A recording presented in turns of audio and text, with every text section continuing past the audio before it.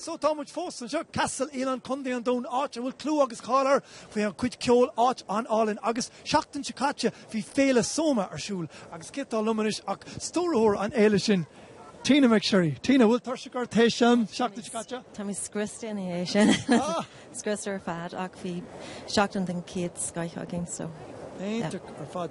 Agus inistom le féle soma hí ceoltaréis chola áit agus inistom faoi féle soma. Um, Félan an fphobal atátí um, mar tá rudí an féinine gatainine Tá ceol chumach a gin sé sin ceáil Carlan um, soma géalaige uh, Magnus Vikings talán rudí an siúladí leachtaí ahanrad atátí. You know, so.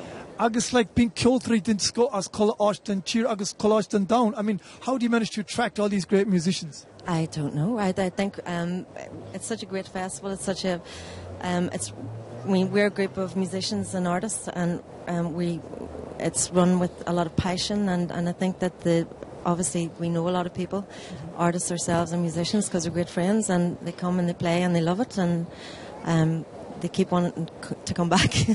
Yeah, I saw the program, and it's a fantastic collection of artists coming together. And you've the house band, you've the workshops. I mean, the Galuro the ensemble on. Yeah, yeah. We had Damien Dempsey and Cathy Jordan actually as guests of the house band this year, so um, and that was brilliant. And did you have a highlight? I don't mean in the Gruig, no, but did you have a highlight of the festival? Yeah, yeah.